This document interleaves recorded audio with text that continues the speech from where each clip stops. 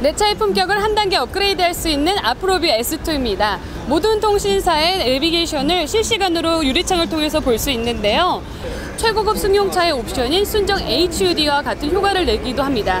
특히나 고스트상의 문제를 최소화했기 때문에 가독성과 선명도를 높인 제품입니다.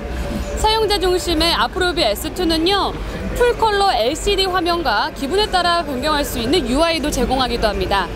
주변 환경 적응 시스템은 조도 센서를 통해 눈비 등의 주행 환경에 따라 자동으로 화면 밝기가 조정돼서요 안전 예방에도 탁월한 기능을 가지고 있습니다. 현재 이제 신제품으로 출시된 아프로브 S2는요 어, 다양한 이벤트도 진행되고 있으니까요 꼭 잊지 말고 참여하시길 바라겠습니다. 지금까지 아프로뷰 S2였습니다. 감사합니다.